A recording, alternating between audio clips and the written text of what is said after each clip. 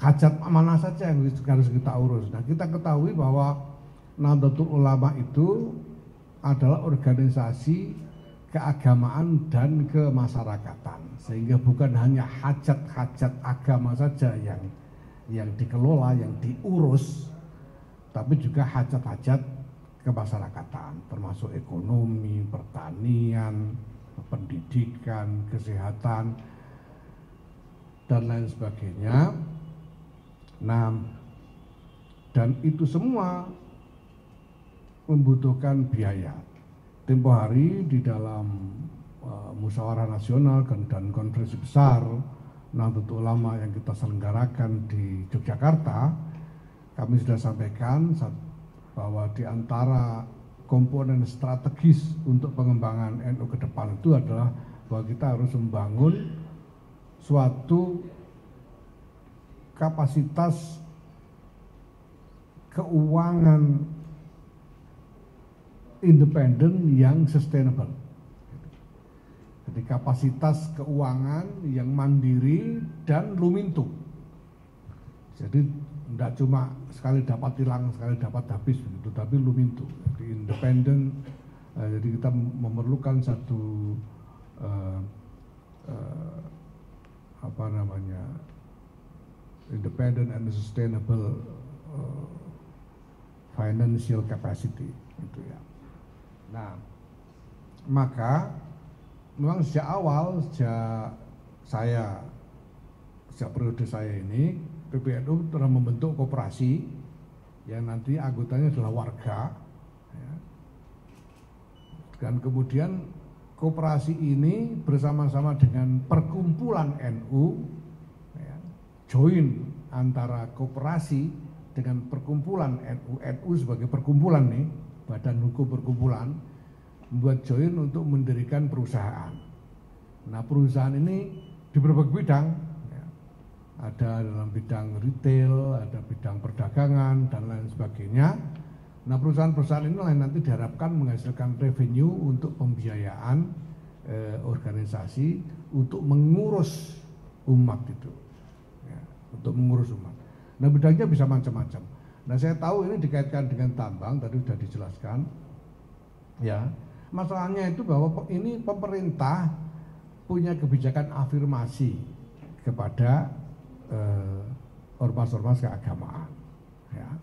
Mungkin sebetulnya ya mungkin ya ini khususudon kami yang paling dipikirkan mungkin memang NU mungkin ya mungkin loh ini karena NU punya umat begitu besar ya Eh, survei-survei mengatakan lebih dari separuh penduduk Indonesia ini mengaku NU. NU punya pesantren-pesantren yang jumlahnya sampai sekitar 30 ribuan pesantren, madrasah, ya, dan lain sebagainya.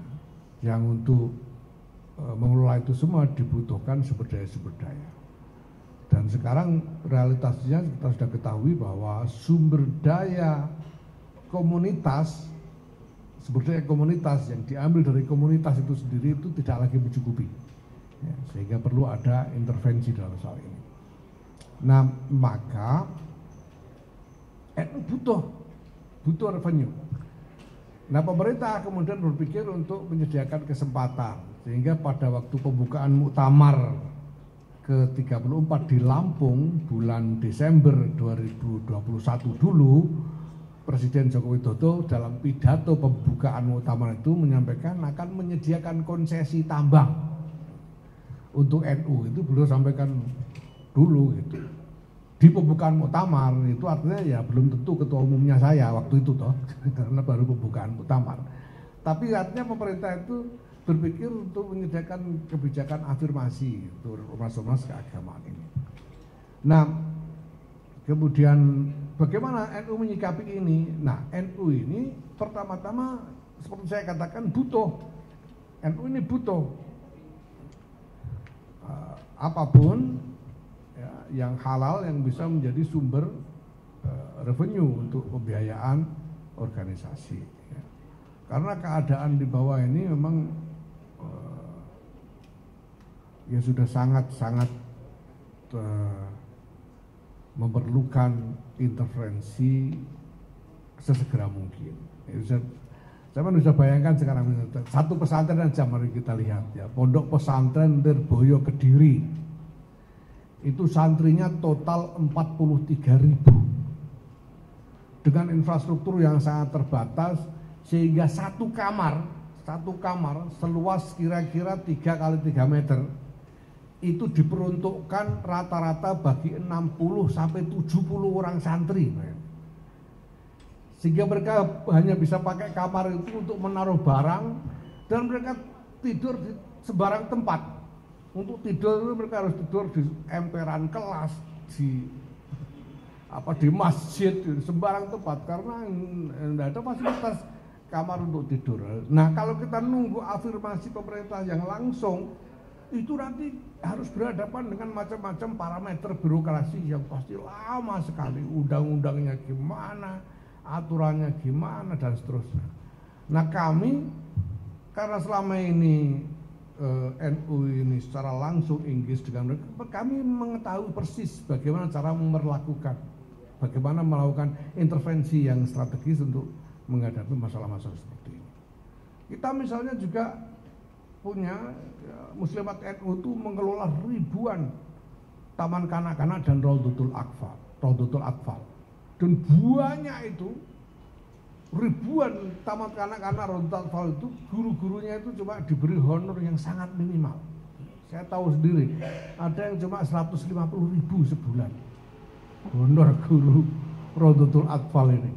Nah kalau nunggu, dan ini kan semua ini inisiatif komunitas komunitas sendiri yang bikin ditopang dengan kapasitas komunitas. Ya gurunya sih ikhlas semua gitu. Ikhlas semua cuma ya yang lihat itu kan ya tidak tega.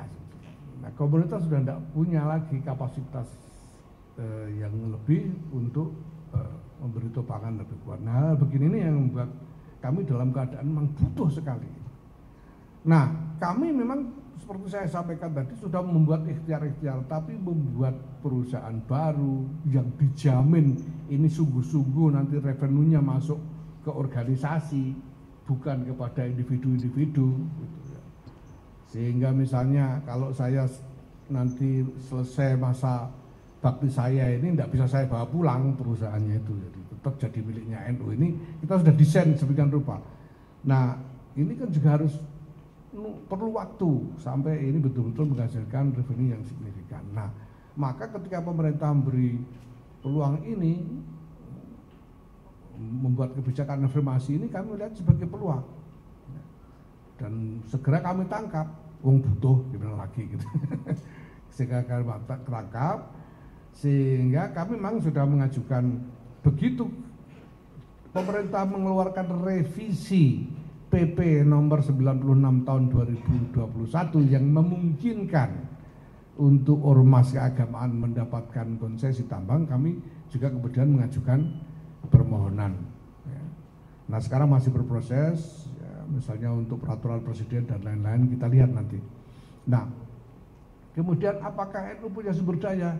Lah ini bendahara umum kami ini pengusaha tambang juga itu dan dia tentu tidak sendirian bukan hanya soal bahwa dia sendiri pengusaha tambang, tapi sebagai pengusaha tambang dia punya jaringan bisnis di antara ya komunitas pertambangan ini sehingga uh, saya kira akan ada uh, apa ruang yang yang memadai bagi NU untuk membangun kapasitas uh, usaha pertambangan ini.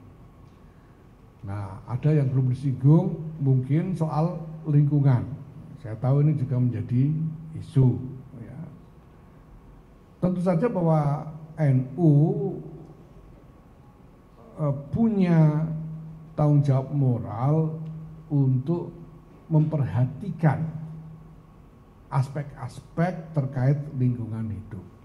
Saya sendiri itu saya pribadi sejak 2016-2017 saya sudah berusaha menaikkan wacana tentang perlunya konsensus nasional tentang ekstraksi sumber daya alam. Indonesia ini semua tahu kaya, kita ini merasa kaya, kaya raya. Tapi kekayaan Indonesia itu sumber daya alam. Sehingga kalau sumber daya alam itu tidak diambil, tidak diekstraksi, ya nggak jadi kaya kita. Nah maka supaya kita benar-benar jadi kaya secara aktual ya memang sumber daya alam harus diekstraksi. Nah cuma parameternya harus uh, memenuhi uh, kepentingan-kepentingan terkait kemaslahatan umum, terkait uh, lingkungan hidup. Nah, menurut saya undang-undang dan peraturan-peraturan regulasi-regulasi uh, uh, praktis itu mungkin tidak cukup karena regulasi-regulasi itu biasanya ada lubang dan lubang itu biasanya diakali gitu ya. Nah, tapi kalau kita punya konsensus nasional, nah ini bisa menjadi dasar untuk melakukan eh, pengawasan dan pengendalian yang lebih baik ke depan. Nah, tapi tanpa menunggu konsensus internasional itu, eh, konsensus nasional tentang ekstraksi sumber daya alam itu, nah ya NU memberanikan diri untuk masuk aja dulu nanti kita lihat. Apa pun juga NU punya NU ini berangkat di samping karena adanya kebutuhan tadi, tapi juga dengan kesadaran akan tanggung jawab moral terkait eh, lingkungan hidup dan kemaslahatan masyarakat secara umum. Ya. Nah ini semuanya kita perhatikan sejak awal. Maka termasuk bahwa concern jangan sampai ini kemudian jatuh kepada pribadi-pribadi. Insya Allah kami sudah siapkan desainnya. Jadi itu tadi termasuk bahwa desainnya itu kita bikin kooperasi yang anggotanya adalah warga dan kemudian apa join dengan NU sebagai perkumpulan untuk membuat PT yang di situ pejabat-pejabatnya ex officio. Nah, ke depan akan kami kembangkan model yang akan lebih secara bisnis lebih reliable, lebih bisa diandalkan profesionalitasnya, tapi juga lebih aman bagi eh, kepemilikan NU terhadap itu semua. Baru saja kami menyelenggarakan pertemuan yang eksesif dengan uh, lembaga dengan lapas dam untuk membahas desain eh, termasuk desain eh, manajemen keuangan eh, NU nantinya. Ya, makasih. Silakan. Ya. Untuk soal PKD ini sebetulnya sama. Kita ini kita minta tidak membawa lembaga. Warga NU itu berhak membuat pilihan politiknya masing-masing tapi jangan membawa-bawa lembaga. Jangan misalnya berkampanye atas nama pengurus NU jangan menggunakan fasilitas fasilitas milik NU kantor-kantor NU tidak boleh digunakan untuk kegiatan politik ya. Nah ini ini jelas dan kita sudah keluarkan itu apa namanya eh, parameter-parameter itu semua pengurus sudah tahu sampai ke bawah. Nah kalau mau dukung mendukung silakan aja, mendukung mana ya. Oke, oke soal ini salah satu yang dikhawatirkan itu adalah adanya konflik horizontal ketika ngomong soal tambang. Ya. Konflik horizontal karena sekarang sih masih terjadi. Hmm, misalnya? Nah, di beberapa tempat kan ada masyarakat adat, Hmm. Nah, ketika NU masuk ke sana, ormas masuk ke sana, konfliknya itu kemudian semakin luas karena nanti ormas melawan masyarakat adat misalnya begitu. Itu yang pertama. Yang kedua, ini hmm. kan masih ada kriminalisasi terhadap aktivis apa namanya lingkungan yang hmm. juga melakukan advokasi terhadap tambang. Nah, apakah NU juga sudah mempertimbangkan itu? Jadi ini ini wilayah yang kira-kira banyak orang menyayangkan ketika misalnya ormas keagamaan masuk ke hmm. sana itu tidak hanya soal benefit tapi soal hak asasi hmm. soal masyarakat adat yang terpinggirkan dan seterusnya ini lebih jauh daripada persoalan benefit finansial terima kasih ya ya soal-soal itu pertama ya problem-problem yang saya sampaikan terkait dengan masyarakat adat dan lain-lain itu tidak bisa digeneralisir. Ini kan tergantung di mana tempatnya. Kalau misalnya NU eh, dikasih tempat konsesi di tengah permukiman ya tentu saja kita tidak akan mau. Atau dikasih konsesi yang di situ ada klaim hak ulayat misalnya ya tentu tidak tidak bisa kita tidak mau lah. Ya kita lihat dulu di mana tempatnya kan. Ya kita kan belum tahu ini mau dikasih konsesi di mana gitu.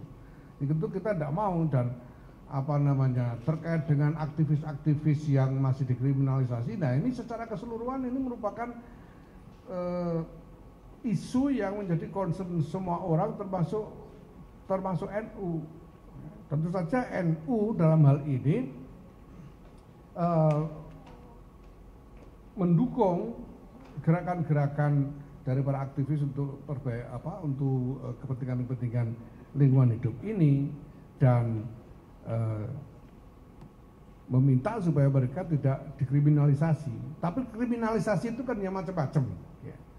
Ada yang kriminal beneran juga ada kan itu saja. Nanti kita lihat karena pernah ada kasus juga kita di beberapa tempat ya ada laporan ini dikriminalisasi, dikriminalisasi. Nah setelah kita uh, kirim tim dari LPBHNU lalu laporannya ternyata kriminal beneran Pak. Ya, gimana lagi? Jadi artinya apa bahwa para aktivis ini dalam perjuangkan uh, idealismenya ini ya memang harus memperhatikan strategi dan cara-cara yang dilakukan supaya tidak sampai menimbulkan masalah-masalah seperti itu, masalah-masalah kriminalisasi semacam itu.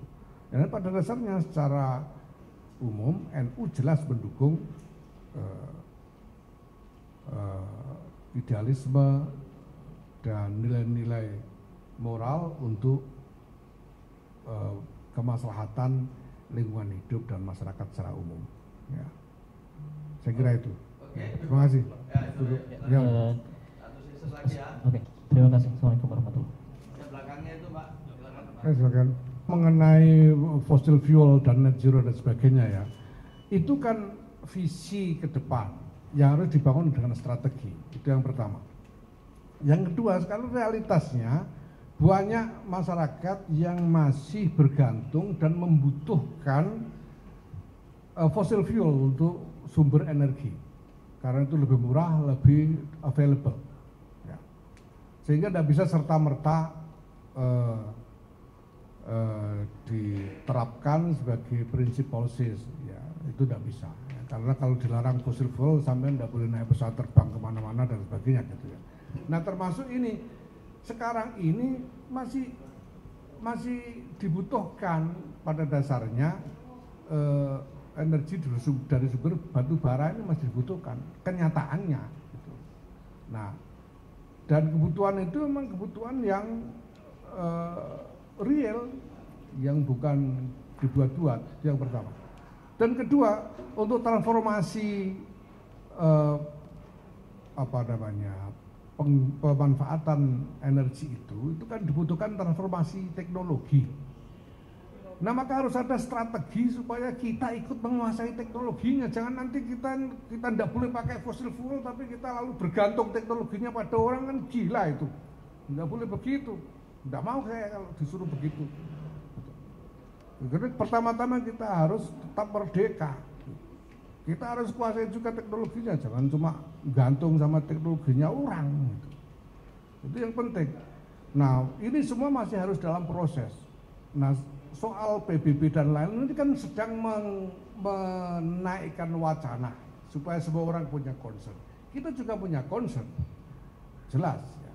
Nyatanya kita juga ikut mengkampanyekan penggunaan uh, listrik, energi listrik sebagai pengganti uh, eh, BBM untuk mobil-mobil kan. Ya, tapi nyatanya sekarang kan mobil listrik itu tidak bisa sampai sampean pakai dari Jakarta ke Surabaya. Celaka sampean nanti. Nanti 400 kilo harus ngisi baterai satu jam dua jam, yang ngantri ngisi 40 mobil bagaimana? Ini hal yang memang masih membutuhkan pemecahan jangka panjang dan harus ada strategi yang deliberate dan adil deliberate dan adil soal ini, tidak boleh tidak adil. Nah, ini satu. Nah kemudian eh, apa tadi soal yang kedua tadi soal apa? Uh, ya. Lokasinya kita belum tahu. Lokasinya kita belum tahu. Kita baru mengajukan izin ya kan. Nah, nanti kalau dikasih lokasi ini ya kita lihat lalu kita tawar namanya ini kan soal tawar menawar juga ya kita tawar jangan di sini dong itu masalahnya namanya bukan pemerintah sudah mengatakan bahwa ini prinsipnya afirmasi afirmasi itu jangan kasih masalah sama kita lah nah maka itu menjawab juga soal bahwa selama ini dikuasai segelintir orang ya kan sudah bagus pemerintah ini karena kalau nunggu NU punya duit sendiri yang cukup untuk bersaing dengan segelintir orang itu kan kelamaan gitu. Nah maka pemerintah memberi afirmasi. Ini kan berarti ada kemauan pemerintah untuk eh, apa men, men, memicu praktek yang lebih adil dalam soal ini. Kemudian soal sumber daya manusia eh, yang kita punya, ya kita sudah punya sudah bikin PT-nya. Kita sudah punya PT, dan uh, penanggung jawab utamanya bendara umum yang juga adalah pengusaha tambang. Dia mungkin termasuk segelintir orang tadi itu. Mungkin ya. Tapi pakai diesel. Tapi paling tidak dia punya jaringan dari komunitas tambang ini dan apa namanya sebetulnya di lingkungan NU itu sendiri udah banyak sumber daya manusia sumber daya manusia yang unggul yang bisa kita panggil untuk ikut bekerja. Ya ini kan soal proses kan, ini kan bukan kayak kita dikasih nasi bungkus yang bisa dibuka langsung dimakan dengan janda, ini butuh proses lama. Dan NU saya kira saya sangat optimis karena kita juga sudah beberapa tahun ini uh, ya beberapa, dua tahun terakhir lah kita melakukan uh, semacam uh, identifikasi sumber daya sumber daya manusia. Sekarang ini misalnya kita sudah dapatkan data 286 profesional NU yang bekerja di berbagai negara sebagai profesional-profesional kelas 1. Ada yang bekerja di, uh, di, level manajemen perusahaan uh, apa industri pesawat terbang, ada yang apa namanya di industri keuangan dan macam-macam eh, industri teknologi tinggi yang lain dan mereka sudah engage mereka siap untuk untuk eh, bekerja untuk NU lah Insya Allah nanti dalam waktu dekat kita ingin menciptakan satu platform untuk berkumpulnya sumber daya sumber daya baru untuk masa depan NU ini akan bikin semacam summit untuk itu. Saya kira dalam waktu dekat, dalam waktu dekat, mungkin tidak sampai akhir tahun akan kita laksanakan. Ini sedang kita proses konsepnya. Ya. Maka saya optimis, insya Allah ada. Ya. Now, ya saya tidak tahu apakah harus disebut satu persatu ini. Personelnya kan ya tidak perlu lah. Pokoknya ada bendara umum, saudara Hudvan Arif ini yang akan memimpin eh, tim untuk ini. Terima kasih. Tidak usah disiapkan, sudah siap sendiri banyak itu. Banyak yang sudah siap sendiri gitu ya. Untuk banyak, tidak usah disiapkan. Banyak yang sudah siap dengan sendirinya gitu. Nah ini monggo saja, seperti saya bilang NO ini fakta demografis, realitas demografis, bukan faksi politik. Gitu aja. Nanti itu kalau sudah jadi kabinet sampai tanyain satu-satu, itu paling tidak separuh NO, kalau tidak malah NO semua. Gitu. Itu aja, makasih.